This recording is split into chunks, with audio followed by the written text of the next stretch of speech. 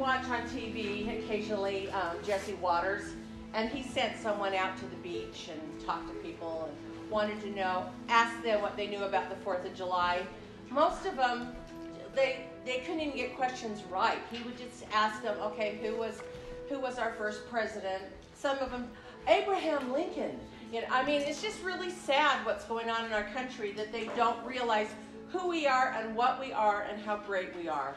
So that's why we have Sisters of Liberty so that we can help instill that in our families and hopefully, you know, people will become more not politically minded, but civically minded and understanding what a great nation we are and that we are God's children and that this is His land and His laws. And so we've had some really good judgments that came out of the Supreme Court the last week. And oh, Satan hates it. and the left hates it. And so, isn't it? Inter- we're in interesting times, that's for sure. And Helena told me about um, a, the three. It's called Three Brothers. It is. And I was listening to them, and they said something that I thought was really interesting. Um, and I hope I don't slaughter it. But they said something about, um, you know, they've heard different people say, "Why isn't the church growing anymore?" I got the, the right guys. You remember? Yeah, yeah, yeah. Why isn't the church growing anymore? And they, their kind of their consensus was, we're not going to see a massive growth anymore because we're so close getting to the end times. We are now seeing the five virgins, five five foolish, and the five um, uh, wise virgins. So that's going to be a shifting of people that are going to fall away. And we also are going to have a shifting of the wheats and the tares. And so the church they, I think that was their opinion. They says, don't be surprised to see the church divide in half. And, uh, you know, so I don't know. I thought it was kind of interesting. But I, we're not going to see massive growth anyway. We're going to start seeing sifting of wheat and tares and the sifting of the virgins. So kind of interesting. And then last week, Todd, he talked about murder to get gain. So, how many of you listened to Unspoken with Todd Halverson? Unshaken. Unshaken. With Jared Halverson. With Jared Halverson. Okay, I just why did I just slaughter it all together? you had Todd on the mic. Four times in his last one, he's talked about murder to get gain, and I'm like, oh, it's oh my this gosh. week's. She's ahead. I'm ahead. It's the Elisha one. Yeah. And and that's where I caught it. He talks a lot about murder to get gain. Yeah, four times. I'm like, okay, I've never heard that before, and then he says it four times. So I thought that was really fascinating. Was it uh, Hesed? Uh, or Esed? Hesed. Hesed. And then you hear it a number of times. You're just going, wow. And it was Halverson that did the same thing. Yeah. Um, approaching Zion, Hugh Nibley, also I thought, I know I've heard this, and the Master may have principles in there, and it was murder to get gain, and you, approaching Zion is about the economic system. Gotcha. So that's where he's getting that from. So, but I thought found it fascinating that the week you hear it, you hear it again four times. Well, can I add something? Yeah. Well, so I, f- I filled you all in last week with what was happening with the Levitt family. They have now had to leave the state of Utah because they have been having so many death threats against them and against their children that they have to they have to move. Oh my gosh. So what has the Utah establishment done to the Levitt family? It's been murder to get gain. Yeah. They have murdered his reputation, Reputation. Mm-hmm. so that they can get gain. Yep. And I'm sure you saw last Tuesday, we did not get any good candidates. Yep. The establishment, I mean, not including Mike Lee, but but he was the only one we got. Everyone else was an establishment candidate. So, did you love what happened with the Supreme Court and the EPA? The EPA cannot have the power to uh, supersede the uh, federal or the the Congress. If Congress wants to make laws for mask mandates or whatnot, they can. And see, they just give the power away, and then that way their constituents don't, see them voting, and so it prote- insulates them from looking bad, and therefore just let them be the dirty, do the dirty deed, and then we don't have to be responsible. I could fit it. Okay, all right. Well, Andrea, take it away. So, um, Was there another Robin paper? saw my the picture that I have on my binder anyway. Most of you have one of these. If you don't, you can grab it. Is there a way to find that online to make it bigger? It's just kind of hard to read.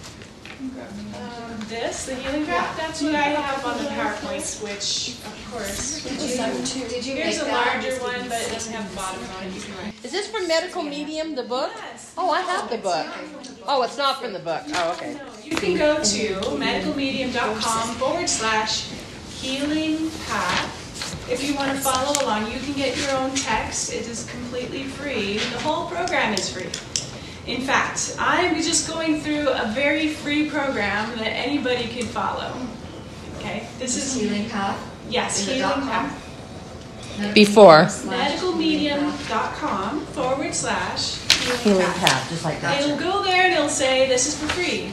And yes, you put in your email address and it sends it to you, access to it. Now he has done all 18 of the lessons on audio. So he has transcripts you can read in case you, you can't hear.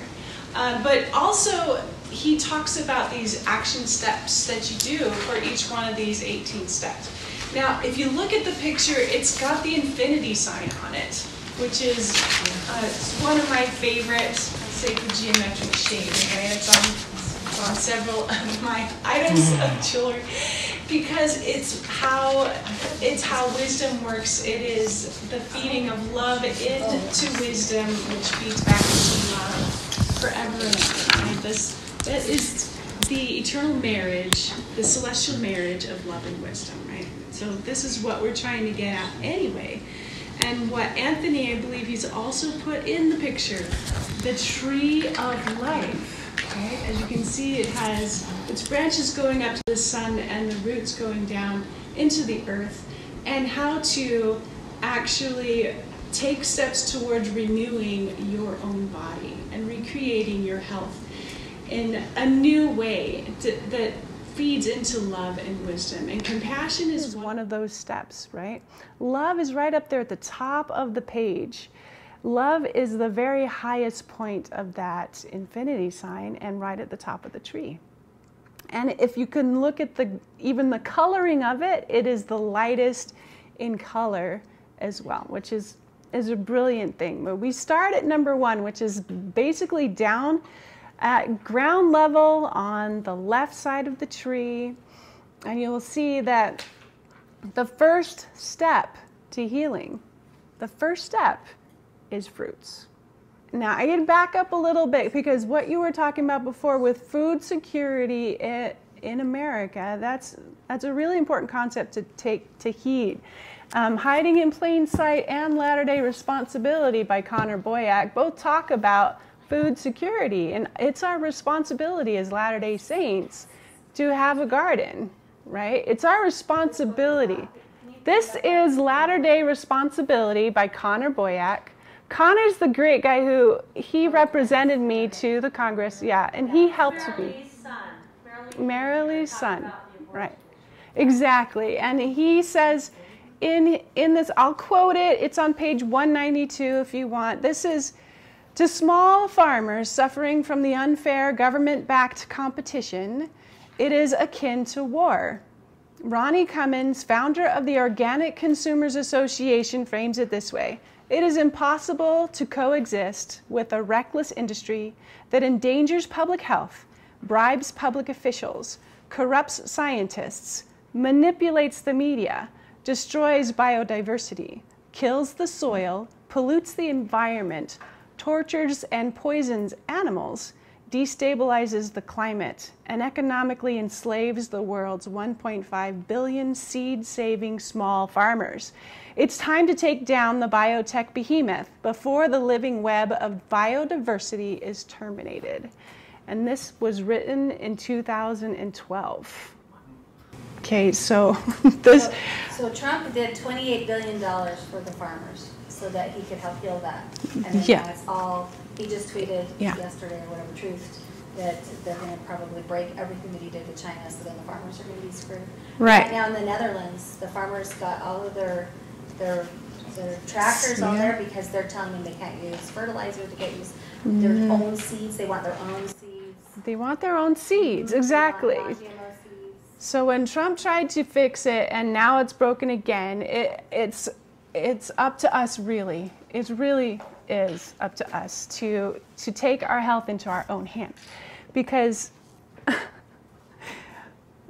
because the Gadianton robbers have gotten over us. They have gotten over us for a very, very long time. Okay. The healing path, though, is written in correspondence. It, it, Isaiah wrote in the language of correspondences that Avraham Gileadi decoded for us. In Isaiah Decoded, for those who are listening afterwards, you can look that up. Um, Swedenborg saw this same manner of writing throughout the Bible, from the Old Testament all the way through to Revelation, and he wrote over a million words to decode it for us, called The Secrets of Heaven. He wrote it in the 1700s a hundred years before Joseph Smith was born. Who, who's that? That? His name was Emanuel Swedenborg. Do you know how to spell that name? Sweden, as in the country, B O R G. It's Secrets of Heaven. And all of these texts, all the things that he's written, are free to download on the internet at swedenborg.com. you just go to swedenborg.com. You can start reading it, and it's just as readable as the Book of Mormon is readable. It's, it's not that hard. Um, it's, it was written in Latin, but it has been translated into English. I think after Joseph Smith was They have a whole channel discusses, Alive. you know, people that discuss. it. Yeah, and the channel is called Off the Left Eye.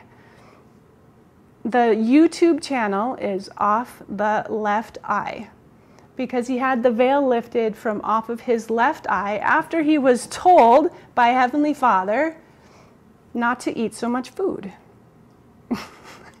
and he had to change his diet and he had the veil removed from his left eye and he was able to see into heaven and write about it for us. And he was told that he was allowed to write about it in such plain words as latin was at the time. Because because people we could understand it with our our current knowledge. So in the 1700s we could understand what heaven was like.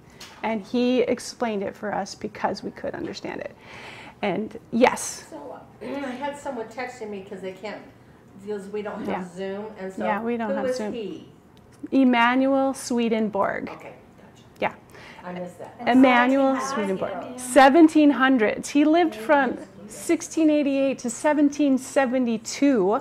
He had his awakening in 1744. He was already a scientist of an anatomy among several other things, and I got interested in him because of anatomy, because I was studying anatomy for the practice that I do. And he discovered that when he was researching the brain, um, what neurons were.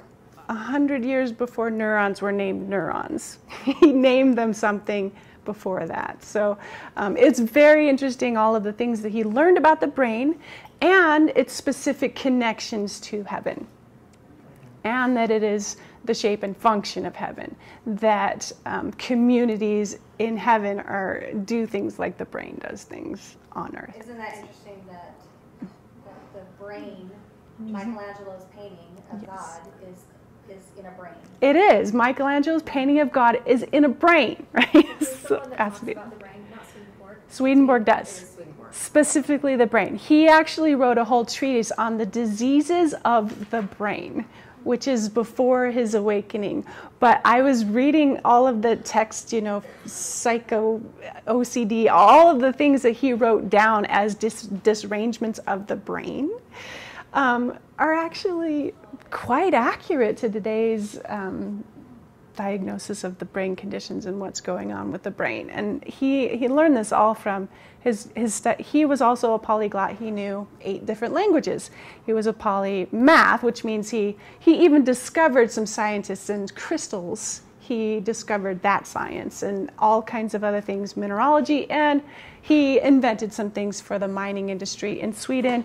And that's why his family was knighted by the, the king and queen of Sweden. He became part of the legislature. He, he dealt with um, the economy and money and, and how people related to each other. Fascinating guy, Swedenborg. You might want to look into him.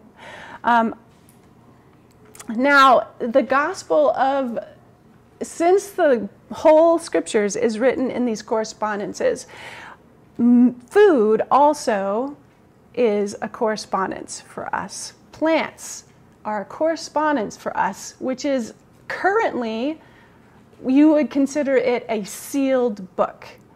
And it's sealed on purpose by industries who don't want you to know that they have biohacked this book and are feeding you pleasure center foods of hyper taste, right? They taste so good that they actually make you create the chemicals of, of love in your mind.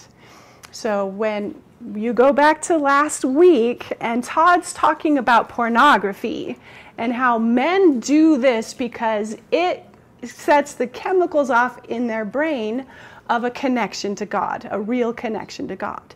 And women actually eat hyper tasting foods. We get more addicted to those foods and preparing them because they connect, they make us produce the chemicals in our brain of a true connection to God. They fix a problem that is a fake fix. All right, it's a fake fix.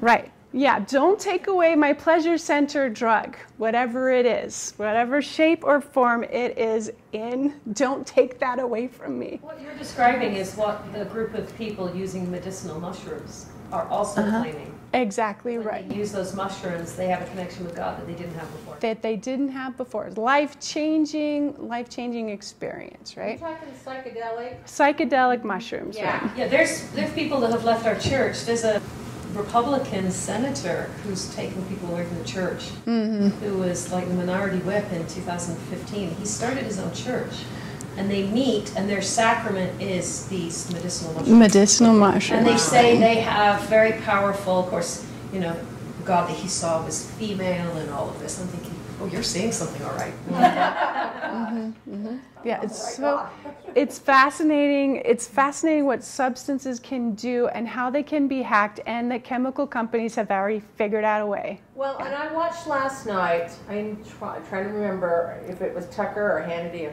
how um, the, uh, the medical marijuana, mm-hmm. they are pushing it so strongly on kids uh, in high school.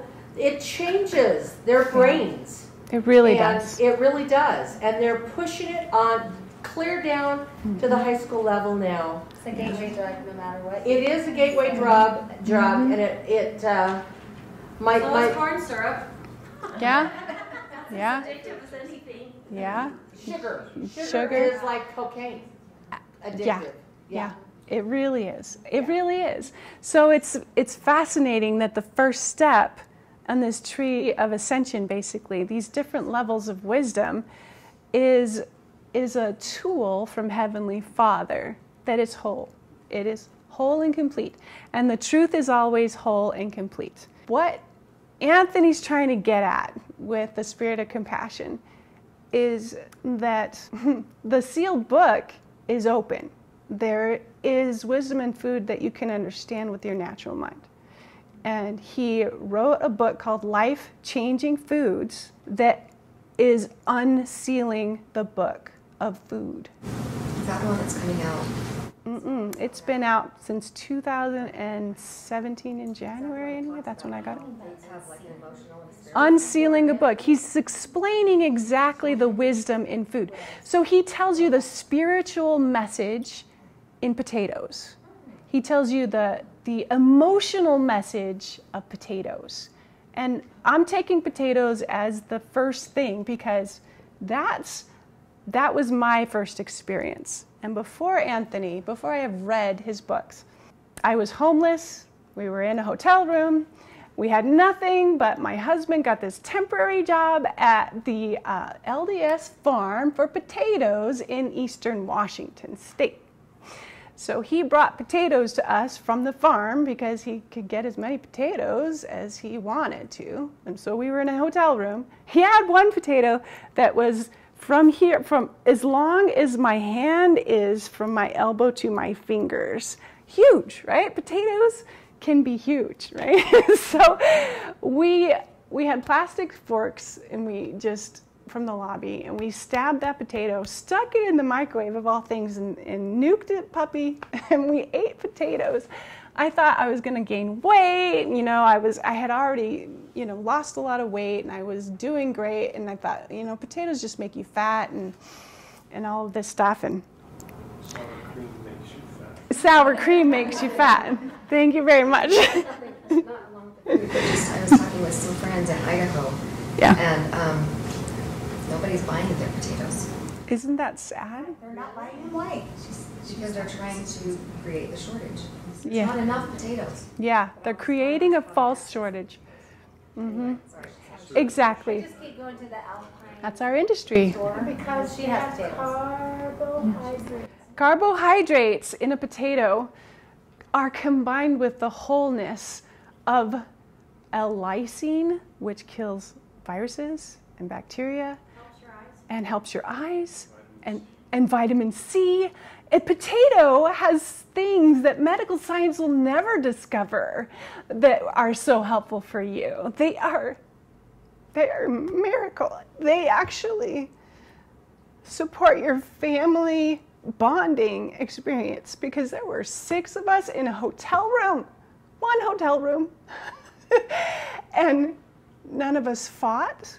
We got along better, and we were just eating potatoes, and none of us got sick. It was a fascinating experience. It was really humbling, but it was quite amazing. Um, and then when I picked up the book Life Changing Foods, I mean, I was challenged to read it, and I thought there would be something wrong in that book, especially against the word of wisdom. Obviously, okay, so this guy can't be for real. He listens to this weird spirit, and he's been doing it since he was four.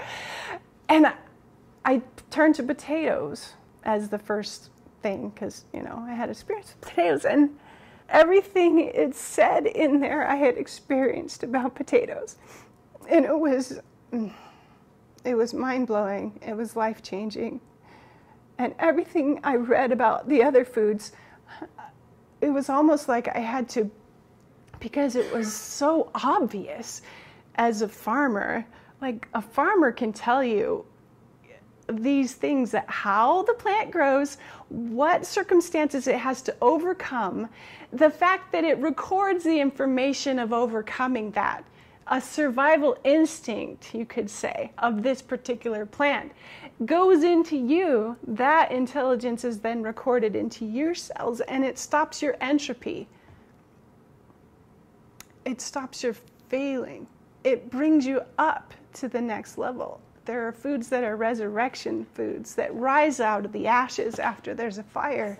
Isn't that interesting, the miracle of the potatoes? It's And- interesting. And, and that they said plant potatoes everywhere in, the Netherlands and all that. and Yes. They give them for World War II and it ended. They gave them to their enemy Yes. and then brought peace. Yes, exactly. And to share to share food. St. George almost died if it weren't for you know, the member of the church, George, uh, you know, told them to plant potatoes. They were dying. And guess what? potatoes saved their lives in St. George. And that's what's called St. George. And they're so easy to grow. They grow in my almost desiccated backyard.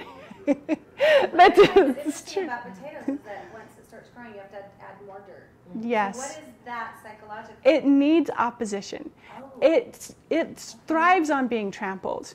It actually, yeah, Because you keep, you, you literally cover the, the, the greenery Yes. with another layer. You yes. You cover you bury it, you rebury it. Keeps making a bury it. potatoes in there. It does. It So does. It, it overcomes opposition. It overcomes opposition. It's nourishing. It's comforting.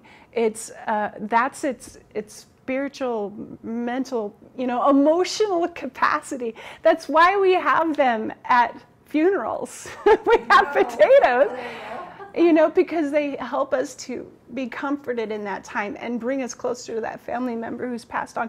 It's amazing what I mean, it's the cheese on the potatoes at the funeral that's going to make you fat. But it's if you just had potatoes, it would just be it would just be amazing, right? So we just need some recipes for for them without the added fat, and we'd be fine. You, do you want a, an easy one? Yeah, go ahead. A little salt and olive oil. Yeah, some salt, a little olive oil. As good as butter Mm-hmm. and salt. Not quite as good as sour cream. I know. Yeah, but there's something to that. Yeah. Salsa is good. Salsa on Really potatoes, good. exactly. And I do my veggie uh, chili, and I put that on my potatoes, and that goes really well. Green beans and salsa. Green beans, Stir it in. salsa. Makes a, ca- a casserole. hmm Yeah, potato casserole. Potato casserole, right? Yeah. Loving food. Yeah. Something that is so easy to do. You take your fresh potato, you dip it in your olive oil, um, you put it on your baking sheet, and you take crushed um, rosemary. Yeah. Oh, yeah. Oh my gosh. And then you put it in the oven Mhm. and bake it at 350 degrees until it's not crispy. And oh, you will love it. next Yes, I do. it is you put next to your dinner. I love that. I always do bulk cooking with potatoes, especially and sweet potatoes and all kinds of. I just put all the f- veg in the oven and bake it for my And throw a little weekly thing. salt in it and- and hmm That's so yummy. Yep, some fresh salsa. I do love guacamole. Now, I'll tell you, avocados have a very similar um, construction. So they are actually the most like mother's milk on the planet. Very, very nourishing to you. They have a lot of glucose in them, a lot of sugar. They're one third sugar and one third fat and one third protein. So they have fats in them. But You know they have If you have a other things too. problem, it fixes it. Avocados, Yep. right? Avocados are One a amazing. day. So that's a fruit for you. So Costco has frozen avocados. Yes. So if you stick those in a smoothie, Mhm. it's like cream. Yes. Which one? Because not all of them Yeah. carry it. Mine in Saratoga Springs has it. Yeah, The Mine Lehi one Leah, does. Right? Is that Yeah, Lehi yeah. or Leah? Lehi. Yeah, yeah. Um, but the best thing about avocados, Avocados in the bag. get them when they're on sale for less than 99 cents each. And they're getting, you know, and you just buy the whole thing. Freeze them yourself. You just freeze them yourself. You can put them, you could take them out of their uh, covers and take the seed out, slice them in half, stick them in a Ziploc baggie, stick a straw on the side, suck the air out, seal it, and stick it in the freezer. That's it. You don't need preservatives, you don't need lemon juice or anything like that. They stay nice and green if you suck the air out of that bag. And they're perfectly fine. No, to take the sleeves off, take the shell off of it. Yeah, take the skin off of it. Take the seed out. Just take a Um, I haven't dried and scoop it avocados. That's a good question. I freeze dried. Uh-huh. They freeze dries really well. Do they do? Oh, that's great. Have you Okay. done avocados? Because I've never seen them. You can freeze dry them, but they don't last long. Two years is all they will last because of the fat content. Yeah, they do have a high fat content. for long term. I didn't know that. Freeze drying, they don't last long term. There's too much fat in them for them to Yeah, last. So they they have about a, they're like chocolate. They'll have about a two-year shelf life freeze dried. Uh-huh. Same with brown rice. Uh-huh.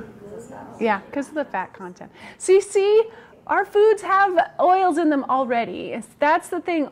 Anthony talks about, Dr. McDougall, several others, uh, Mastering Diabetes guys, all of these say the fat you eat is the fat you wear, right? They're the same thing all the time.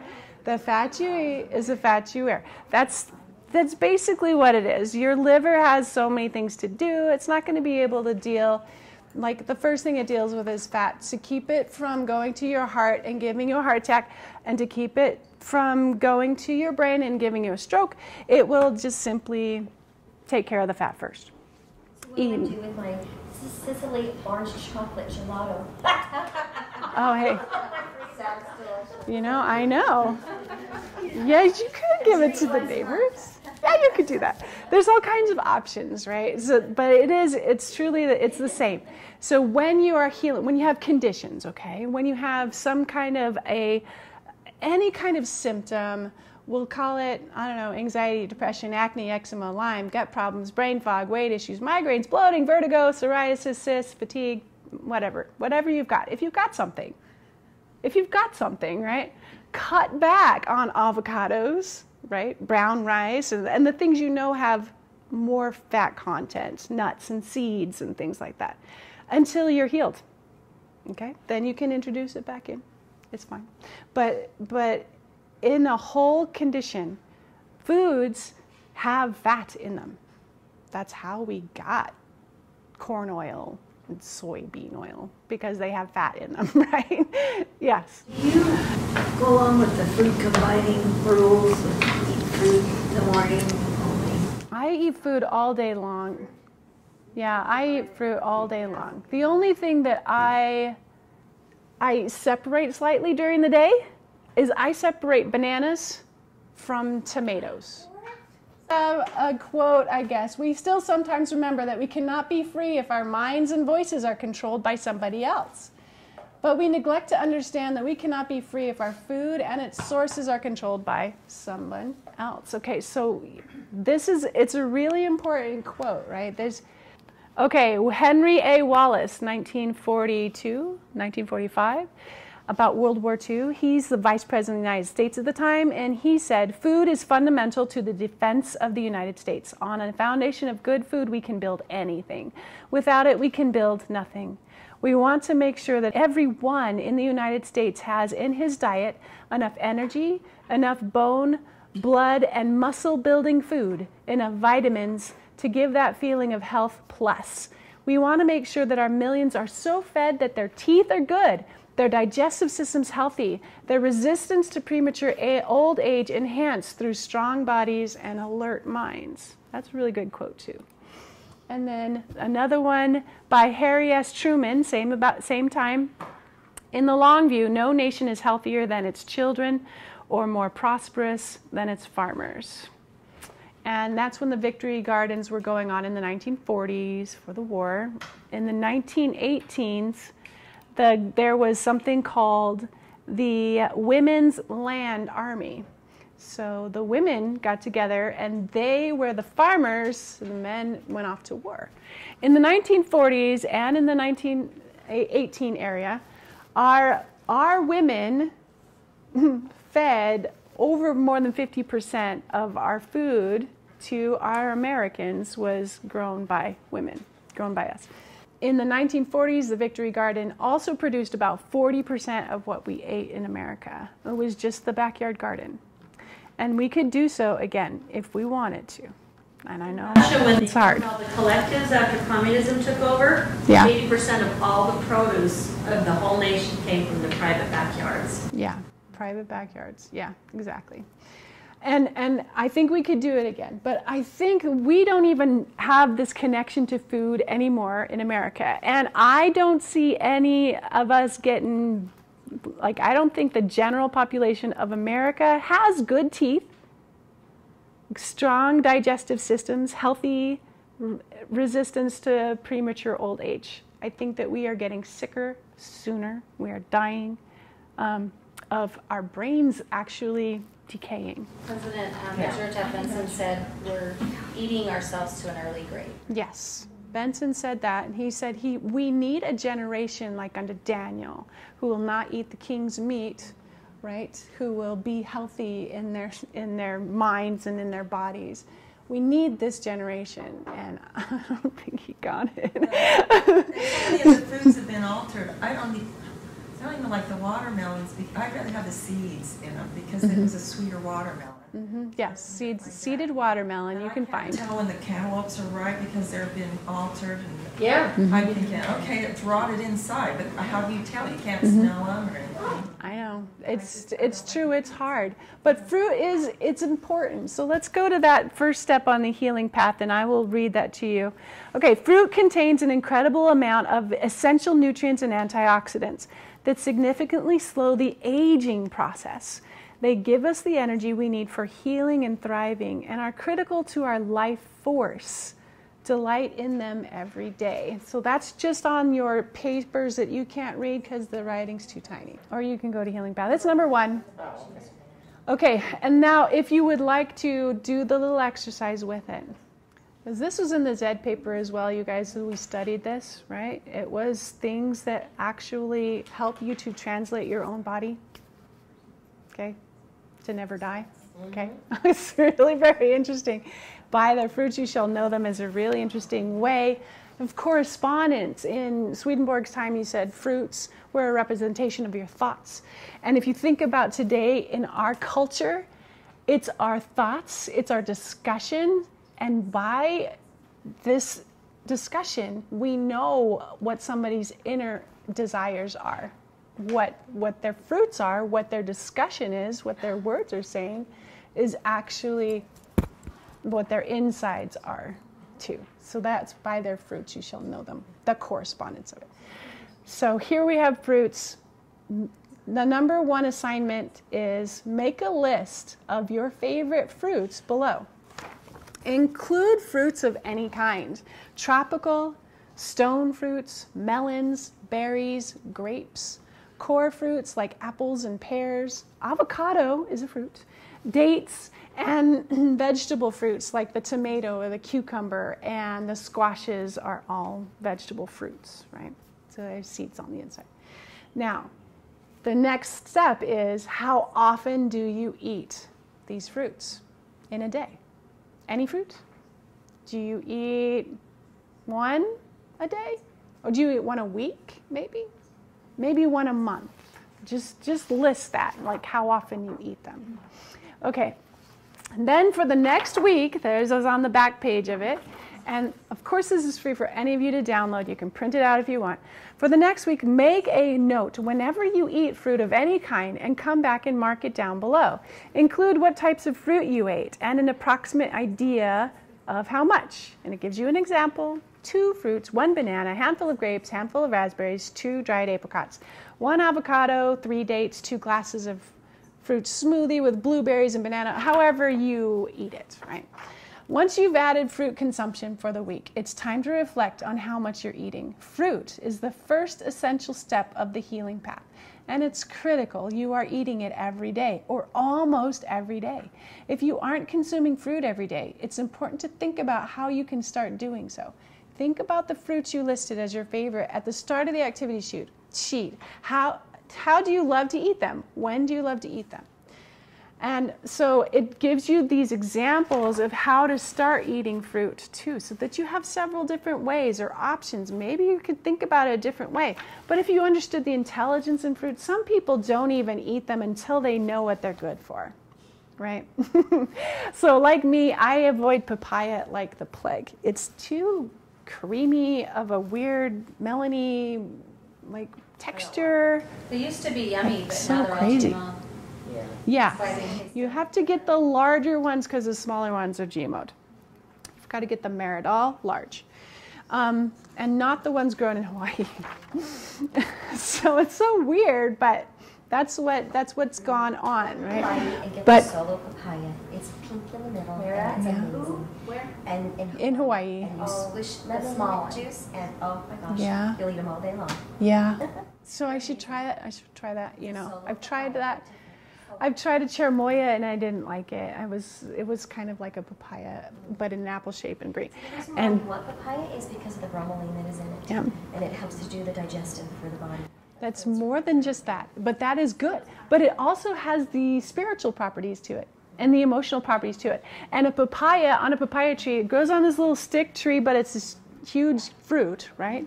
And it grows there in the hot tropical sun that would actually burn us to death if we, we laid there in the hot tropical sun, right? We couldn't handle it. But a papaya takes all of the sun's energy, which we know is Jesus Christ, which is what the, D&C says, right? Okay, it says the sun is Jesus Christ. It takes Jesus Christ's intelligence and it puts it right into you. All of that intelligence, right from the Son, goes right into you. The same with a mango, that orangey lusciousness goes right into you from the sun. Yes. What about fruit in the season?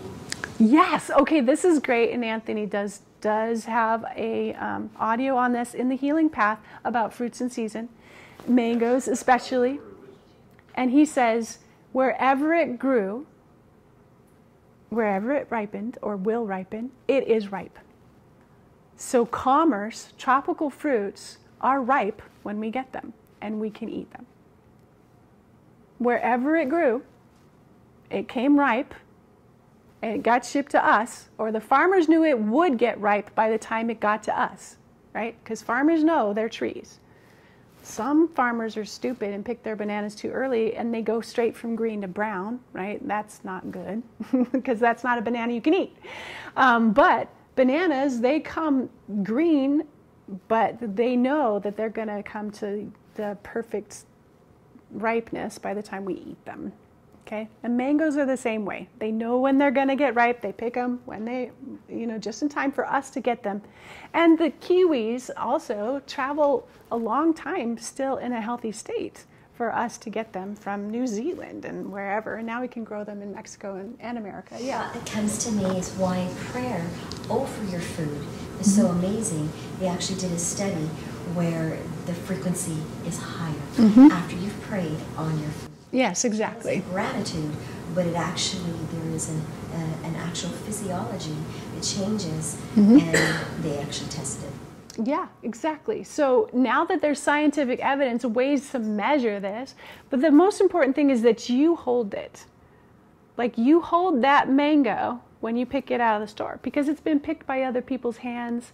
Other people's hands have touched it all along the way, but you hold it and it starts to resonate with your frequency. Hold it for a couple of minutes and then you can peel it and the process of peeling it things like that. It comes to your frequency. It, it does its thing that it can do just for you. That's the most amazing thing about the tools that heavenly father's given us. Do you think that he would make things that aren't so powerful? No no they're going to be powerful because they have to go and they have to fight all the designs and the evils of mankind. Not just you know not just some things, but everything mankind can do. It has to overcome. It's that tool in the word of wisdom that can overcome anything. So fruits fruits are just that. And then there's an exercise. Your healing exercise is to pick some fruit. Picking fruit is one of the most wonderful ways of supporting your body, your heart, your spirit, and your soul. If you have some fruit trees in your own garden, this exercise will be easy for you. If you don't have your own fruit trees, ask a friend, a family member, a neighbor, or acquaintance who has fruit trees if you could come pick some fruit. Or make an outing of it and plan to go to a fruit orchard, farm, or forest where you can pick fruit. Picking berries, apples, and grapes are popular options. If you aren't well enough right now to pick some fruit, ask a family member or friend to go get you some fresh organic berries or other organic fruit from a farmer's market for you to enjoy so that you can get the rich healing properties of just picked fruit. Okay, so in the time in the season and our area, it's important to have fruit, right? So at Becky's farm, she has um, she has raspberries. We can all go and pick raspberries if you want to pick raspberries. And um, my friend Becky in Eagle Mountain, so I, I have access to. I, they're not on yet. Well, no, raspberries at Melanie's heart. Our raspberries, her raspberries are ripe right now at my friend's house. Yeah, picking raspberries. It's a great. All right. Does anybody else have raspberries or anything like that?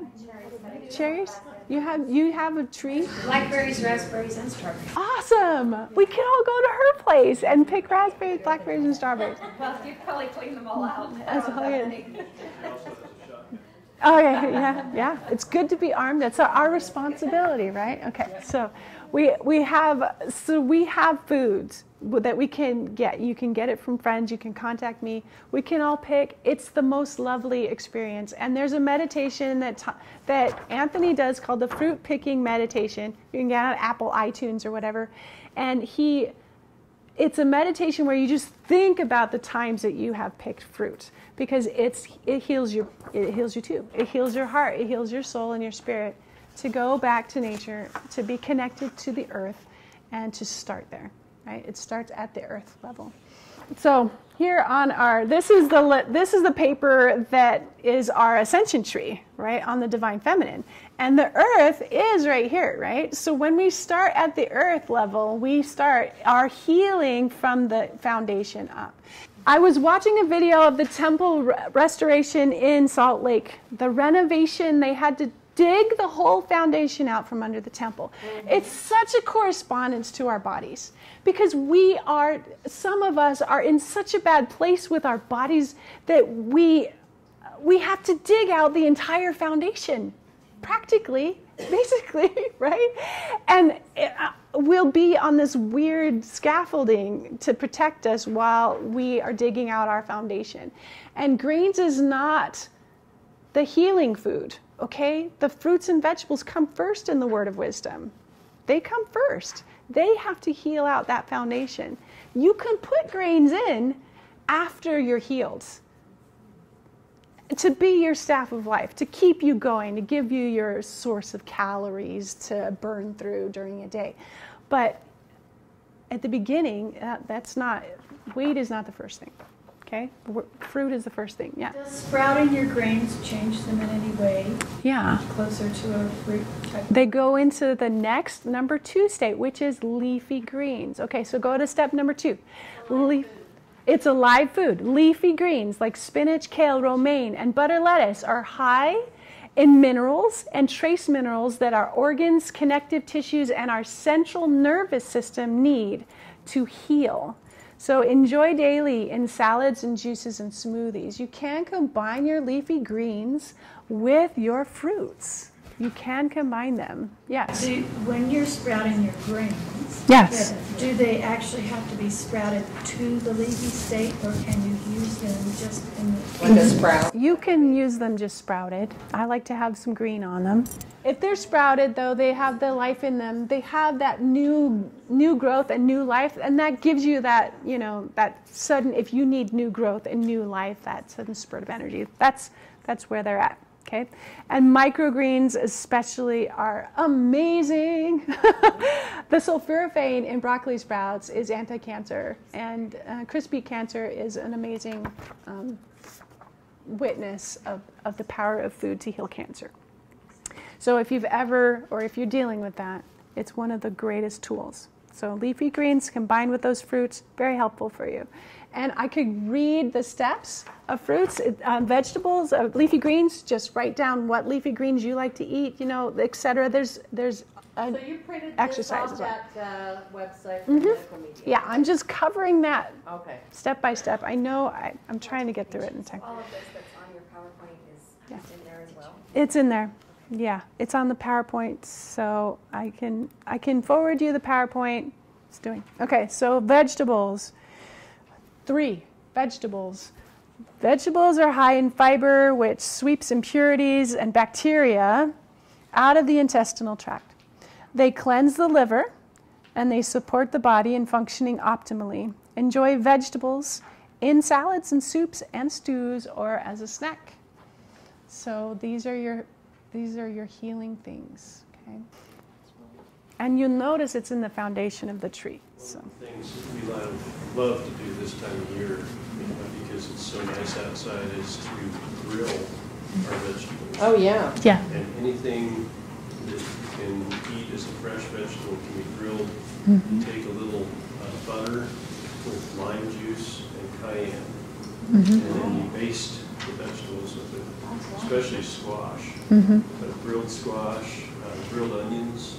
Yeah. Um, we'll even take the potatoes. The peppers are really good with them. Yeah, grilled I peppers. do that a lot. Mm-hmm. Yeah, Summer yeah. we had eighteen There different kinds of peppers in our garden. Yeah. Yeah, that's amazing. That's good. That's good stuff. But you take the potatoes and you dice them into little cubes, Mhm. blanch them or you nuke them, Yeah. and then you put them on the grill with a little lime butter, Yeah. and they come out like a french fry. hmm But it's just a little butter and and cayenne and lime juice. Yeah. Yeah. I know butter was my hardest thing to kick. If there was one thing, it was that was the hardest thing to kick was butter. What's the best thing to replace that with? Butter, Olive oil. olive oil. Wow. See, with keto, you can add I butter. wouldn't. I don't I wouldn't- butter dangerous I don't either. If you read Weston Me Price, personally you know, don't. he says that that's, you know, all these uh, people that have real butter and real wheat, they're, they're, especially the dairy, their mouths didn't need braces, they didn't have cavities. So to me, if you get wholesome milk, it's good. No butter. Wholesome No butter. milk. Yeah. I don't drink milk, but I No. do butter. No, I, it's been six years. I'm not dead yet. I have oh, very clean skin. Hydration. Healing. Healing first. Healing first. Okay, when you're healed, you can try it out again. But don't do it while you're while you have symptoms, right? If you have symptoms, your body is not in a good place to, to handle it. So hydration, number four. Staying properly hydrated allows our bodies to detoxify, flush out the kidneys, release impurities, stay alkaline, and clean out lactic acid. To stay hydrated, drink several glasses of water a day. Doesn't say how many. So just stay stay hydrated. We have a problem with chronic inflammation or chronic dehydration in America simply because I think we get it from the pioneers who didn't want to go to the outhouse in the middle of the night, so they did not drink a lot. I wouldn't want to go out to the outhouse either in the middle of the night. So, um, and I think it's just ingrained in us. So we just have to overcome that. And you know what I've noticed? The more I stay hydrated, the more I drink throughout the day, actually it rejuvenates my bladder and helps me to hold in so I don't have to go to the bathroom in the middle of the night. And that's really, that's been helpful. Okay, so five. Does anybody have any questions on hydration? I still have to get up in the middle of the night. So there's something going on with the bladder. Yeah. And that would maybe be a pathogen, a virus or bacteria that's long, long ingrained or, or static, like it's stuck there. And you can kick it out because fruits will kick it out. Fruits can do that. They, they have that healing property. Mm-hmm. Mm-hmm. Cabbage, the sulforaphanes. Oh, okay. Yeah, exactly. And if you do, if you want to build muscle, if you're like into the building muscle stage after you've done all your healing, the, the things that build your muscle, according to Anthony, are the, the critical clean carbohydrates from your fruit, along with the salts the mineral salts that are in your vegetables and your green leafies. And those two things, and using your muscles, three, those three things are what builds muscles, right? It's, uh, yeah, push ups or burpees or whatever. I do. I do another exercise. So then there's sunshine. Number five, sunshine not only provides vitamin D, it stimulates healing mechanisms in your body and it strengthens the immune system. Enjoy a few minutes of sunshine every day. There are, there are pathways in your body of healing that are not recorded in medical science right now that are in addition to me- metabolizing vitamin D or making vitamin D from the sun. Okay? And there's so many things that the sunshine does. We need real light. So when they tell us to stay indoors for our health and safety, that's a problem for us, right? So we we can we ha- we can know this. It's kind of obvious, and there are certain things in sunscreens that are commercially available that are toxic. anyway, it's just my thing. Okay. You know, one thing that I researched that you can use for sunscreen that's is the co- either coconut oil or carrot oil. Mm-hmm. Um, protects you from being sunburned. It's a good idea. Healthy. Yeah. Does it make it worse? Put it on your outside. It does make it worse? No, no, it's No, protective. it's protective. Uh-huh. So just pure coconut oil, Pure you rub it on? Yeah. Okay. About that? Coconut oil is is it smells good too. Yeah. it's really good. Um, and then sleep. Sleep is number six. Sleep completely rejuvenates the body. Completely. It strengthens the adrenal glands and it reinforces the endocrine system. It helps rebuild and recreate new brain cells. and leaves you feeling refreshed and energized. Okay? So, your sleep is the most important between the hours of 10 p.m. and 2 a.m. Okay? So sleep is important between these hours, the most important between these hours. These are when your your organs cycle through their process. So if you can even be in a, a you know, horizontal position for those hours, even if you are awake and can't go to sleep, can't, you know, you can pretend. Okay, you can pretend, and and your body will do its thing from 10 to 2 Okay, and if you have to work a, a night shift for your life, for your job, corresponding hours in the daytime, 10 a.m. to 2 p.m. should be taken advantage of when you're sleep, when your sleep cycle. Okay, so just letting you know that's the sleep advice for 30 years. Ugh. but would alternate every other month, oh. nights and days. Oh, wow. Were you able to get sleep in those 10 to 2? Eight hours a day. Uh huh. The entire time. Yeah. Well, that's amazing. That's good. That's probably the only way you can do it because it really does mess with your circadian. that's good. You survived. yes. Did I, did I hear, and did anybody else hear, the hours you sleep before midnight, Mhm. it's as if they're doubled. Yeah. As if they're what? Doubled. Doubled. Yeah. The hours you sleep before midnight are as if they were doubled. It's really important those those couple of hours. And I do. I have friends who they never get to sleep by, until one. I'm like, you're. I know you're in your 20s, but you're you're wasting your life, your whole life. Okay. Seven. Creativity. Now we have reached above ground. Okay. So that it lightens up here on the color scheme of your paper. And this is where we kind of get to out of bed. okay? Some, so many people have all of the problems and they even need more nutrition than just this than just whole foods. They just need to nutritize their body. They are in such a bad place. Um, and in case that that is a necessity, it's um, this Cleanse to Heal book has has some special tools for people who have specific conditions that are not responding to whole foods per se. Okay, but but once we get to a place where we feel that we can do something, creativity is a really important step to healing. Um, creativity brings freedom and healing to the spirit and the soul by allowing self expression and the release of stagnant emotions. You can be creative in hundreds of ways, including singing, dancing, writing, creating art, sharing ideas, and more. And I think this group is really useful for. Actually, this group is useful for 7 to 18. Like all of these things. This is what Sisters of Liberty is all about. So you, we want to create freedom, and we want to be creative, and we want to support those who are creative, each other, hopefully, you know.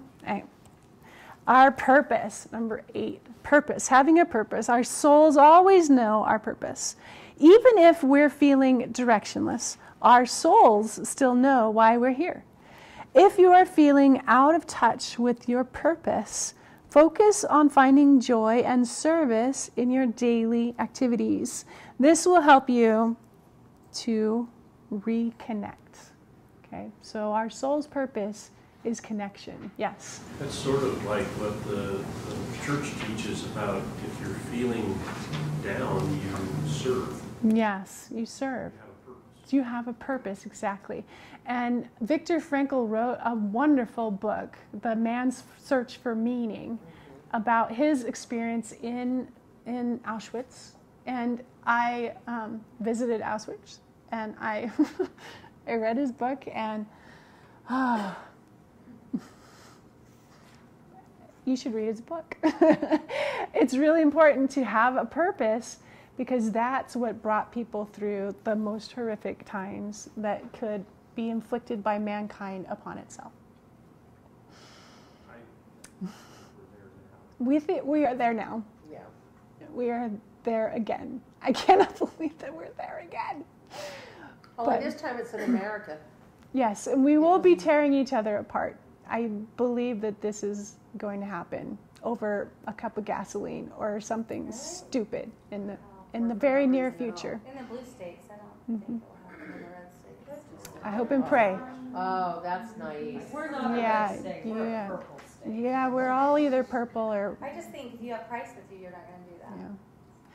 Exactly. Yeah, you're not going to do that. Yeah. Exactly, because we'll have purpose. There are people who will kill. Mhm. So look what they're doing to the Levitt family.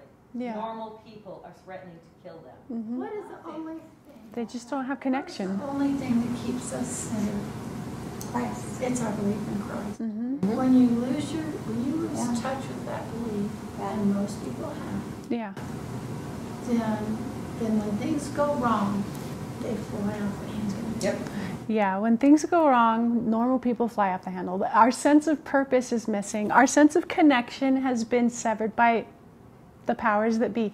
And we, if we don't have it ourselves, if we don't reach out, um, and if we don't reach out right away, I think we're screwed. This country is screwed. we, we're so in a bad place. We have been given so much, so much, and we're oh, such a bad example to the rest of the world. I it just there's drives me nuts. us than them. I believe we, we have more Christian people. Oh, there's no doubt, but Yeah. but when you have Yeah. a group, a cabal that is Yeah. cheating Mhm. and telling and lying to the masses, Yeah. the people who don't meet in groups like this don't know, and they don't they so they believe the lies. Mhm. But I believe we're waking up, and I believe eighty percent of us now know that, I, I believe that they now know the other side is lying. Mhm. And so I think we're, we're on the other end of starting to heal. Yeah. I think we're on the path of healing. Yeah, I think so. I hope so. I think so. I, I think our vision of what actually is contained in the millennium is is so shrouded. We we can't even picture it in our mind. Can you imagine? Okay, can you imagine growing food out of the ground just by praying and having it come up out of the ground? Like the prophet Jonah experienced when he was, you know, It was right there. And a gourd grew up in a day. Okay, so it's just pointing. If you didn't need tractors, if you didn't need diesel, if you didn't need fertilizer, if you could call upon God and the nature, the earth, and to provide you the food that you required that day. That's what faith is. Faith, That's yeah. what faith is, and that's what miracles, and that's what the millennium will be. Mm-hmm. Okay? And this is what the prophet is telling us to pray and expect miracles. Exactly. That's right. So so the prophet is trying to tell us pray for miracles. Expect miracles because this is what this is what the millennium is, right? Our millennial life is mostly the science of nature. It will be what we're most engaged in is raising children it will be the importance of the child. It will be the importance of nature in our lives. We will be able to control the weather through faith and in Jesus Christ, right? It will it will enable us to have the growth of the food we need right when we need it. And we won't even need to have shelter because the temperature of the planet, our temperature will be 70 degrees all the time. It'll be the perfect temperature for us. And we'll be able to speak to each other without using words. Right? This is the. No, this is this paradisical glory of the planet.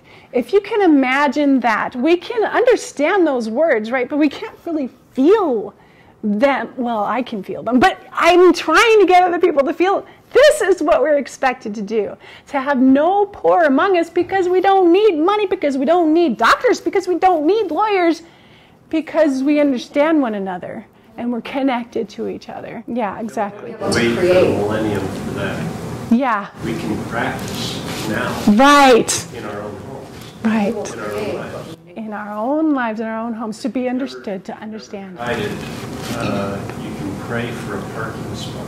Mm-hmm. Yeah. And it's interesting how it works. Uh, You can pray for uh, when you're going fishing, yeah.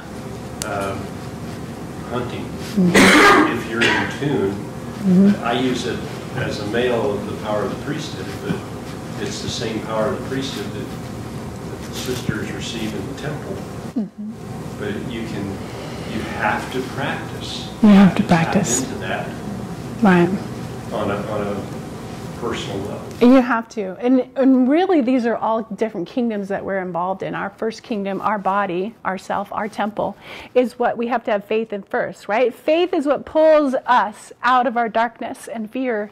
And when we are fearful, we are not able to see or feel or act clearly in life. Faith is the armor that protects you. So that's what Anthony is talking about. Spirit of compassion is telling him faith is our armor. Faith in just our own ability to heal is really important when we're digging our pla- out out of the the dregs, the evils and designs of men. I'm, I'm calling it that because that's really what is causing all of our misery is the evils and designs. Things that are of a celestial level.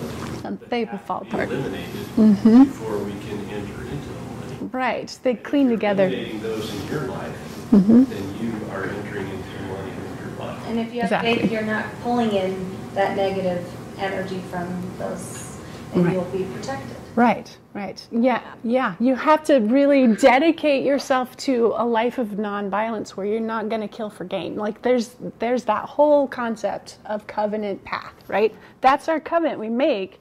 And prayer, prayer connects us to the higher source. When we pray, our message is heard.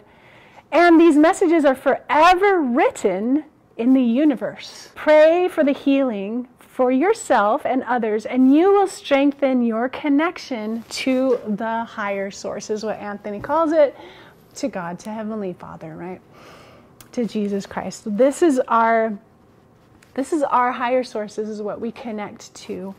And and when we have that prayer list going around, it has been such a fabulous experiment to see what it's done in my family's lives. I have no idea how amazing. you probably have your own testimony of that prayer list. But thank you for starting it. And I don't know whose idea it was. Nancy Nielsen. Nancy Nelson. Okay. Yeah, it was amazing. Thank you. And I use it. I love it. It's in the scriptures when the Savior was uh, in the New World, in the Book of Mormon, he was very careful with his wording because when it comes out of his mouth, it is. It is. It literally is. This The prophets, uh, when they're speaking for God, they're very careful about their words. Hmm. We're studying Elijah, and Elisha. Mhm. Uh, their Yeah. words made it so. That's true. For That's three very and a true. years, it didn't rain. Mhm. Uh, But as soon as he said it's gonna rain, that little cloud shows up. Mhm. Yeah. It's true. It's really real. That's why our prayers, I like what you said about our words send it up to the universe. hmm Yeah, it is forever. It is forever written in the universe. hmm Yeah. And then the Metana archives, it says a prayer goes out, it goes out on this great loop and it comes back kind of on the eternal loop. Right? You did? When we were on our trip, we had a big drive. Yeah. Drive, so I got it on my phone. Isn't it great? But it was, yeah. It's- Also, things for my husband too that he didn't Yeah. realize. Yeah, and the concepts that uh, was it Timothy that he talked about faith in several places in the in the archives that they come together with faith in healing as well. So it it all comes together. Prayer. Yeah. It was also really powerful for us because as we read that, then um, he talks about what sacrifice really is and the Mhm. power of fasting. And Yeah. sacrifice and put our, like our really our whole soul and our desire on the altar. And um, so we read that on our way to Palmyra. Yeah. We fasted for like a day and a half before we went to the temple, and we had this amazing experience at the temple. Yeah. To just back up what we To, you're right. It supports itself and it builds on itself, and it just says, okay, here's potential. Like you can see it. like, it becomes real in your life. Um, it is verse 13 of D&C 89. It is Doctrine and Covenants, the Word of Wisdom, verse 13. If you want to, it's an invitation. You can dedicate your life to pleasing the Lord. You could. You could. It's there. It's there. And it's not by commandment. He's not making us do it. He's just saying, it would please me if you would do this, but you can choose. You have agency. I had a thought. Yeah. when you said it's forever written in the universe, Yeah. the thought that came right into my mind is because the angels are writing it. Yes. They, when you give a testimony and when you're praying they literally are keeping scripts. So Mhm. when you said it is written in the universe, Mhm. it is. It because is. they're assigned to write it. They are. That's right. That's right. You gotta have a job in the heavens, and you know, scribe is a good job to have. Um, it also, I believe, any artwork that you do, any stroke of a pen, any paintbrush, any anything that you do creatively, that is also recorded. So, in case your house burns down and all your art is gone, it still exists. Right? It is all in heaven. In case somebody comes and they take all of your poetry and they destroy it, it is still written in heaven. Oh, I'm sorry. Okay, support. 11. Support from friends, family, or community is important for healing. We gain strength and reinforcement from feeling connected. Simply sharing with someone can bring a lot of healing. So, in the millennium, we're going to be healing a lot of people to begin with because, because they'll be alienated from their all of their connections and just bringing them into community is is part of the healing. It really is because heaven is people right? Heaven is community. It is people. It's who we're connected to and who we feel the most um, vibrational sameness with. And you're going to go straight to that community when you pass. You might as well build it here. Isolation is such a first uh, use tool Yes. for people who are trying to defeat. Right. Like what they do during COVID. Everybody stay home. Everybody stay home. Isolate yourself. Don't touch anyone, no hugging, no, No. clothes, don't Mm-mm. share Yeah. when you need that energy from Right. Because we need, and we do. In the thyroid healing book, he talks about how your thyroid is an outgoing organ. It actually gives off frequency, radio frequency like hormone, to strengthen other people's thyroids in close vicinity to you. And it is a giving organ beyond your free will or agency. So it will give anybody who needs, it will give it energy if it has it. And it will ask for a request from people around you energy if it needs it, if it's low in this hormone. So this this frequency hormone is uh, it gives no matter how you feel about the person. so I don't know if you've ever been around a person whom you didn't particularly enjoy their conversation or their mannerisms or something, but you felt good in their company anyway. right? That there's kind of this strange, strange attraction. It's maybe because their thyroid was healthier than yours at the time and they were giving some thyroid to you. They were giving some hormone to you that that you needed. Or or else there's certain people that are attracted to you that you just want to push them away physically, right? But they just they come into your space, like your personal space and like hang out in your personal space. And that's usually because their thyroid is low and your thyroid is high and they they're sensing that their body's sensing that frequency and they want some of it so they'll hang out around you even though you're like We can call them the eh could be yeah it's better than vampires i guess i don't know Make your thyroid away. Thyroid that's doing the second limb can lose or radiated. Yes. It doesn't matter. Usually, there's enough thyroid left over that it makes that hormone. It doesn't matter. It can be a homeopathic amount. It, as long as there's something there, one or two cells, something like that, it's going to be making that or requesting that thyroid hormone. And what that thyroid hormone does is it will scan your body every couple of minutes to create homeostasis to make sure that you are um, your energy reserves are in their proper places. If you have enough for your liver to keep going, you know, all of this stuff. Your thyroid's really very important as a coordinating organ. Does it work with the chakras at all? You know? you're speaking of words, yeah, it's very powerful. I powerful. have my thyroid off of medication with the homeopathic. It's in a turquoise box. Uh-huh. They're selling it now on Amazon. It's called thyroid support Mhm. and adrenal support. And Mhm. I took one of each a day, and I never was able to get off any kind. And even to get on natural thyroid, I would I could move.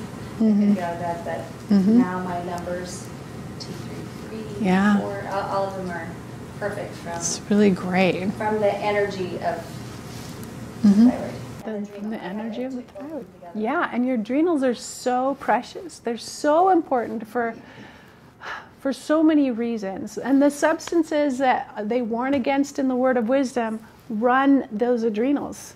They just, just judge them out. So hopefully we can avoid those substances and keep our adrenals strong and healthy. Really important. So is this why when they say that if a woman is having her cycle Mm. and she comes in the presence of another woman, it can start that uh, woman's cycle as well? Is there that frequency Mhm. like what this thyroid is doing? Yeah. Is it that energy or whatever frequency Yeah. starts out? I always thought that was so fascinating. So is this the same concept? Yeah. Yeah. this was cool.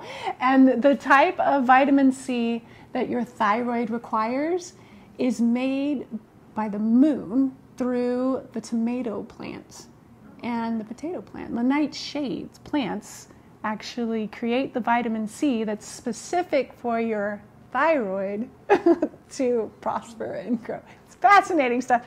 And all of this is in Anthony's stuff. So I'm just I'm just throwing out little tidbits. You keep asking me questions. I'll keep going on this weird tangent. Anyway, okay, so love. Love's at the top. Love is God. God is love.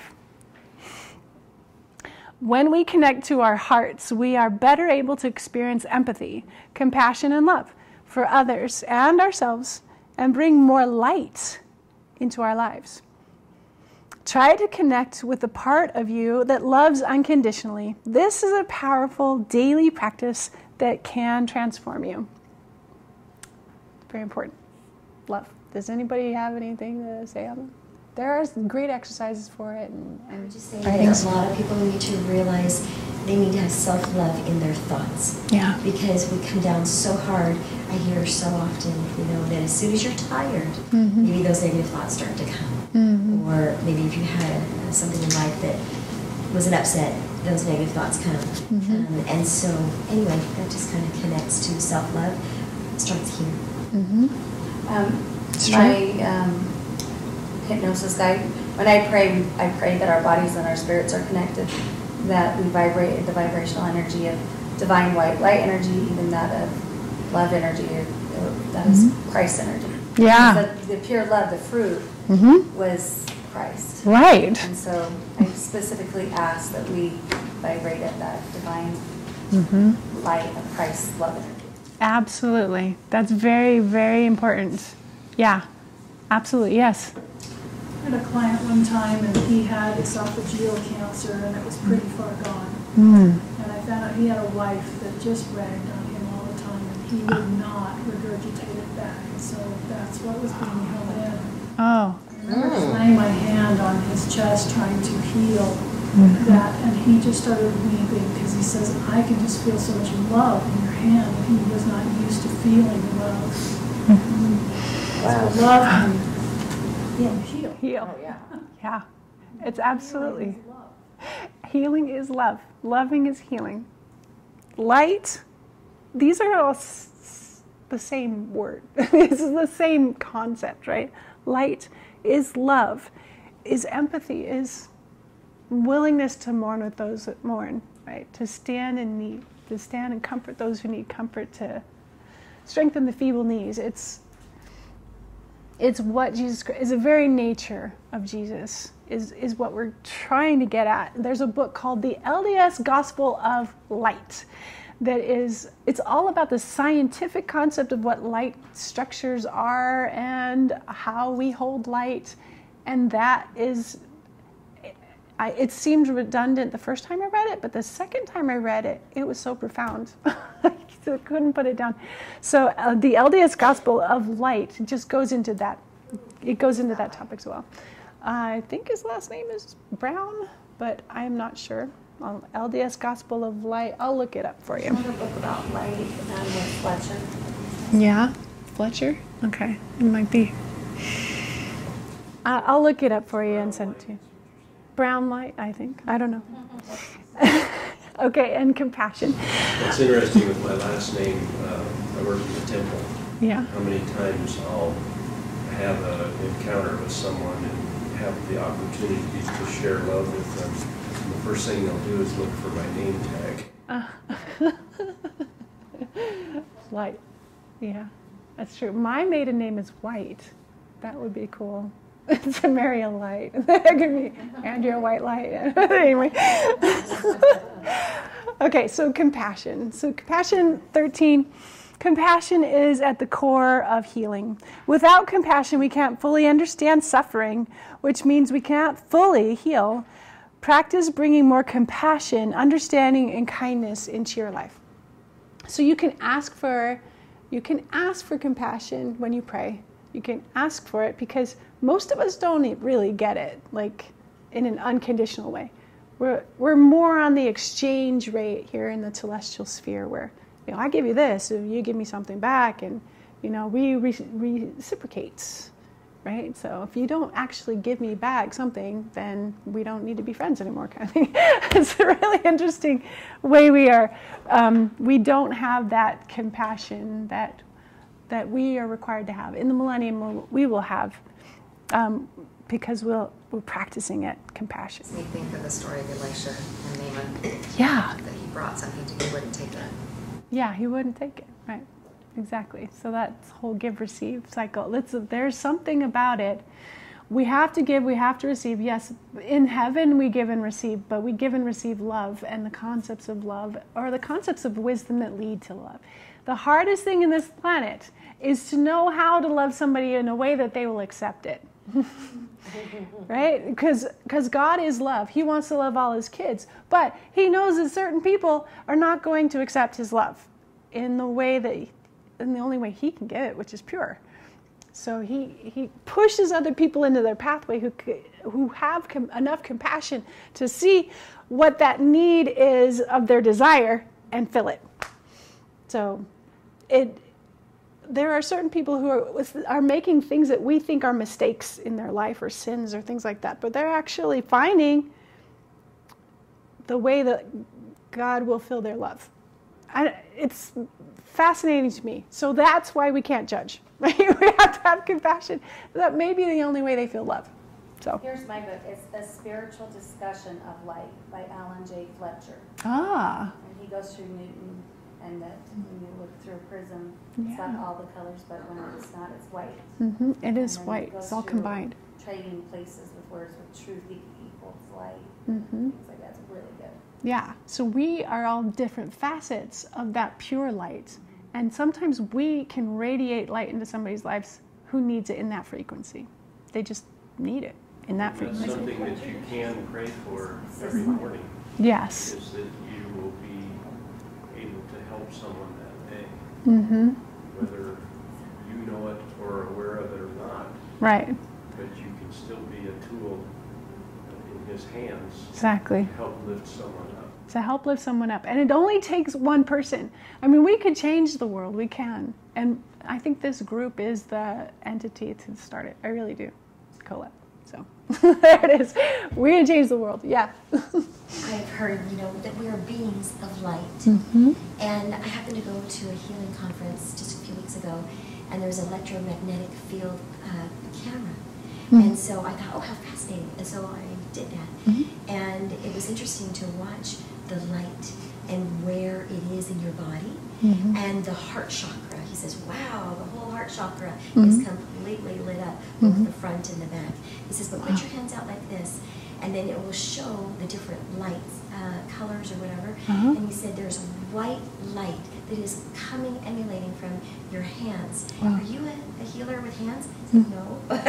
he said, maybe you should think about it. Uh-huh. And then I had, you know, it's interesting. It was just, it was just, I just wanted the knowledge. Yeah. And the thing that was interesting about it is that then I was placed in a situation that night where a lady said she was having a lot of pain. Mhm. And I said, um, could I help you? And so I went to her and I placed my hands on her. And I just used faith and I used the power Yeah. of the Lord Jesus Christ Yeah. to emulate that light further. Mhm. And I knew that when I prayed with faith and with that light that could be touched where she was in pain, literally I was told the healing would begin now. Mm. But because her mind thinks that only the doctor can fix her, that's only when it will actually start. It could Ah. have started right now. Ah, And I thought, wow. that's great. It's great enlightenment. I love that. That's very fancy. I, I, I can't help but think of expecto patronum, like, like the Harry Potter books where Harry Potter knew he could do it because he had seen himself do it. Like, I don't know if you watch those, but it's very symbolic of a correspondence. He had, it was a time thing when he went back in time, or he went forward in time, something like that. But he saw himself do a spell where he projected light. And this is a really hard, apparently, it's hard to do this thing that he could do. He saw his, he thought it was his dad who did it.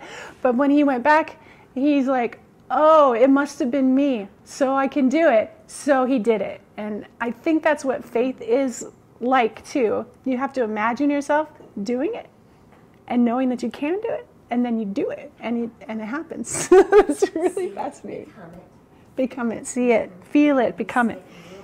hmm That's yeah. why if you see people in their natural state, Yeah. but then you love them for who they really are, they can become who they really are. They And really that's are. what the Lord already sees, because we're already in progress. Right. And He already sees our potential. Yeah, He sees already us. knows we're going to be gods and goddesses. Mhm. And we're just going through those steps. Yeah. And so. That's right. And this foundational planet, we have to be here in order to have something to correspond to, right? To build on. So that's it. That's why we're here. Get a foundation, right? Okay, next is affirmations. Affirmations help you to recreate yourself and move forward with movement, momentum. Momentum is one of our keywords of recent time, right? Let's work with momentum. Be a visionary for your own life with your thoughts, feelings, and the words you say.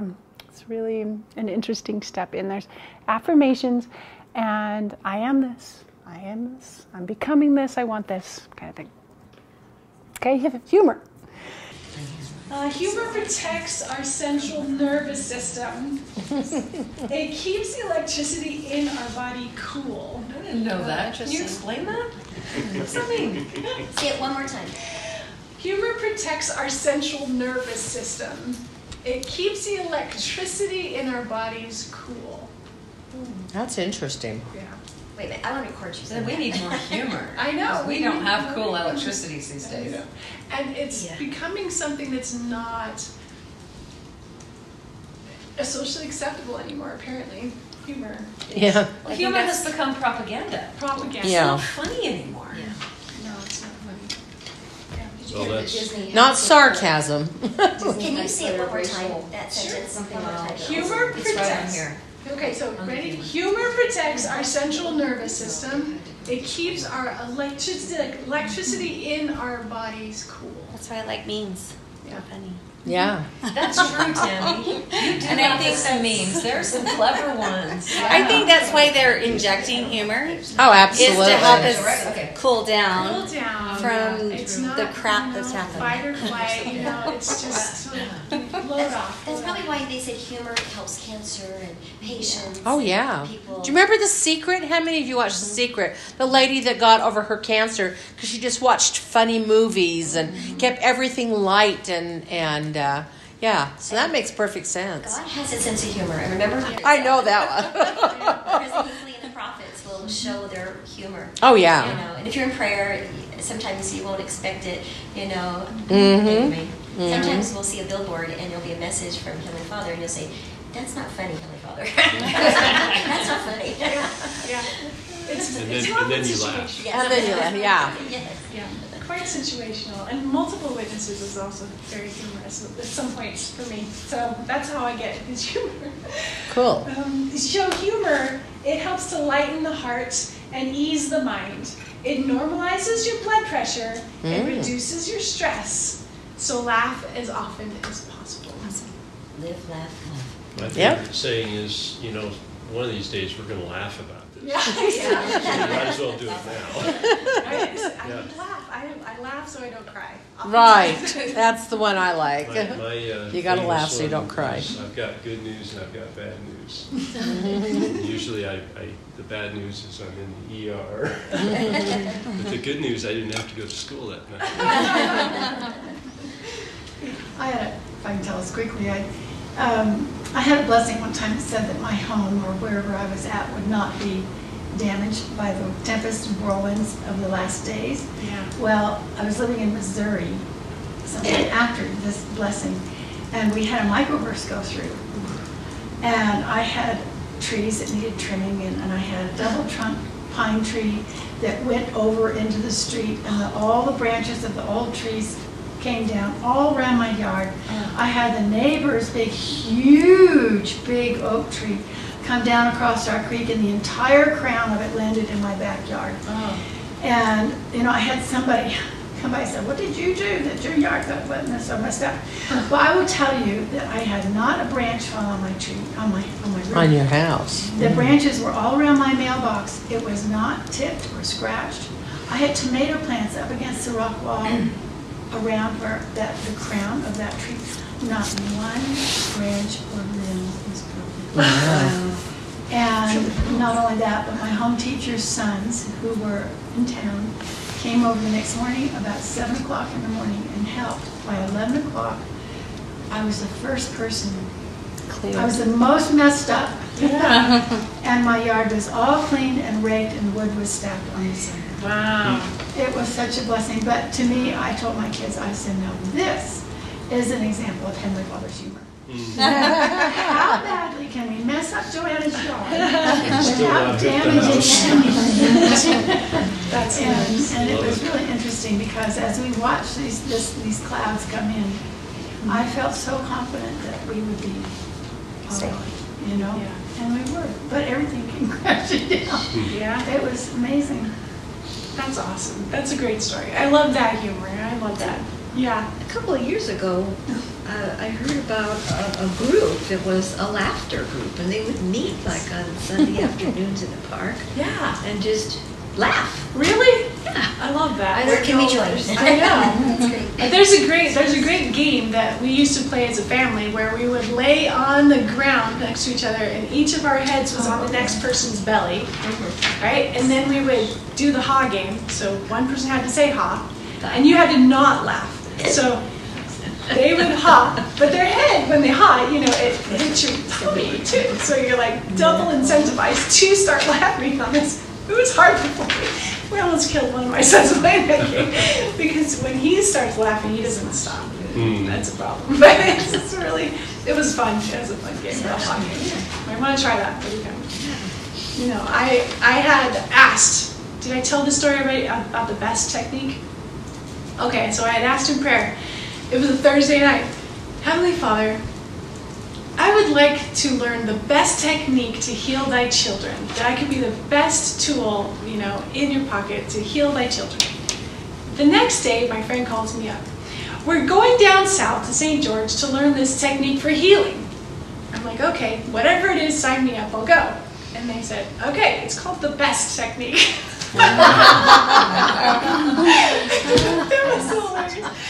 So I learned the best technique, which is bioenergetic synchronization technique. And it has a lot to do with diet as well, which is keeping alkaline, which is exactly this. And I, I thought that was hilarious. Oh, hilarious. so humor. Humor is funny. And play. Play. Play is healing food for our hearts and soul. As we express joyful, childlike parts of ourselves, we reduce stress, we strengthen our immune systems, and we soothe our mental anguish. So, becoming children, right? So, Heavenly Father wants us to become children because heaven is children. Heaven is that state of being where you are choosing innocent. But He wants us to have wisdom too. That's why we have this experience so that we can have wisdom and be childlike at the same time. Yeah. Yeah, play is a food. Um, so if you're watching the Happy Pear as a, a YouTube uh, they're twins from Ireland, and they cook food together, and they eat each other's, like out of each other's hamburger or whatever, because they're twins, boys. And um, they exercise while they're cooking, so you could watch them do handstands around the kitchen and things like that, because exercise is food to them.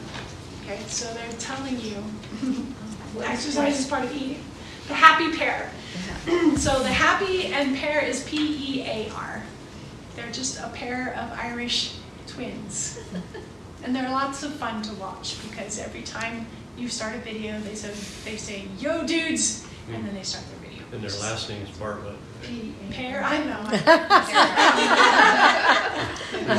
the Bartletts in in our, uh, in our ward, and they say we're a happy pair. Oh, cute. That's really cute. P E A R.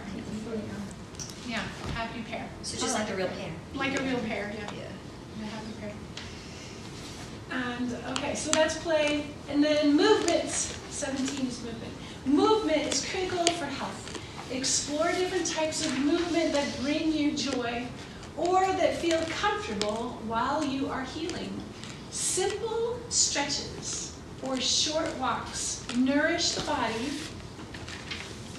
deeply without engaging in intense exercise. So he does not want you to go all out. This is not a marathon, people. This is finding joy in the ways that your body can flow and move, and finding all of the different things that it can do that you didn't even know your body could do. So, I recommend yoga. Just because Yeah. it's a kind of a journey into what your body can do. Of course, I have discovered that I really like to do ballet. So I'll take a barre class, which is ballet and weightlifting at the same time. So why not? Let's do it. So yeah, I've learned that after healing, I can do so much more. And that, anybody else have a con, a thing about healing that they want to include? No? Freedom. Okay, feeling like we have the freedom to express ourselves, that we have a choice to heal, and that we can heal, brings a deep sense of peace and liberation. Even if you are unwell, you can feel more free by seeing your options to move forward and expressing yourself to a loved one. So, being able, being feeling free to communicate, to have your ideas be acknowledged, even if they don't agree, and things like that. We all have ideas that we don't agree on, but we agree on the most important things. That we should be free to express them, and that's that's really what we're fighting for. And um, I think that's this is what these are the. Beautiful. Cool. There is a website for affirmations that is called thevirtuesproject.com, and they actually have you can order the cards, but it will have um, what it looks like and then an out, you know, I am um, statement. And there, there are 52 weeks of, to me, they're like family home lessons, but I would send my missionaries an affirmation, and you can, they have them free, and you, you know, on their their website too. The Virtues Project. Uh huh. And if you remember, uh, uh, The Secret, she had downloaded, and she has an I am page that's got the lines on it. It shows the little secret thing. Is that so you can write. Uh, probably thesecret.com, yeah. And uh, you could just write down. And, and a lot of real estate, you know, would be the salesperson. You have affirmations. I am this. I am that. I am. I am. And it's that belief system that I am. And then it's powerful. I am is another name for God. So, yeah. Bringing it into. Yes. Bringing it into. That higher power. So, And Anthony says it doesn't have to be. You don't have to not include knots because it's not semantic. But God knows your intents of your heart. Mhm. Okay, so it's not like you know you can say things like I don't want to be sick anymore. I don't want to deal with this anymore. Like you can really say that because that's That makes so heart. much sense. And God knows that. Yeah. So, like, I just don't want this is really is important to say as well. You can say that. You have freedom to say exactly what you think and feel. And you don't have to put it in the present tense with, uh, like, po- always have to be positive because your brain Mhm. whatever. No, you're, God knows If you're hurting, sometimes it's okay to say, why? Exactly. I God don't like this. understands- God really even knows that you could be mad at him. He understands what you're going through. He has compassion. Yeah. yeah. What- And, and that's in the, the ready. Yes. This is what I want to trade for it. This is what I do. This is what I want to trade for. Yeah. This is what I see. This is what I want to trade for. So you're getting the vision and ready. It gives you that formula. But if you don't, if you can't even con- conceptualize that, but you're just speaking out loud and you're speaking your heart, then the Lord knows. Then the Lord knows. that, that one book that I keep promoting in the Fearless Mind goes through how to envision the way that you want things to go, and then they become. Yeah. Um, Maybe come. and he's a professor at BYU. Yeah. So if we get caught up in fear, We got- Yeah, absolutely. Well, But it's really true. Your tree- words have power. What was she Oh, saying? the trading post. trading Oh, post. the trading post. It's, it's part of the Ready for Wholeness Okay. that we're taking. Yeah, it's just one of the tools to see what you've got, what you don't want anymore, and to replace it, what to replace it with. kind of like an R and R. I repent of this. Yeah. I choose to do that. Mhm. Exactly. Oh, I like that R&R. visual of the trading post. Move, restore, reclaim, and Reorganize. Reorganize. Yeah, and reorganize what we got. Yeah. Cool. Are are there any questions about that healing? This is great. Thank you. yeah, I loved it. And it fits in with everything. It does. Absolutely. And it, you don't have to be perfect, you could just. No, this is everything that we do as Sisters of Liberty. Everything all encompassed. And I love the eternity sign. I know Yeah. I didn't pick that out till you said that. Yeah. You and did. I'm usually a symbols person, so I'm like, I missed that. you know? You come into yourself, and as soon as you get it for yourself, it's inevitable you want to share it with somebody else. And he gets you to that freedom place, and then you're like, but now everybody has to know. It's almost like eating that white fruit from the tree of life. Like, no, everybody needs to know. well, thank you. Thank you. Appreciate it. Do you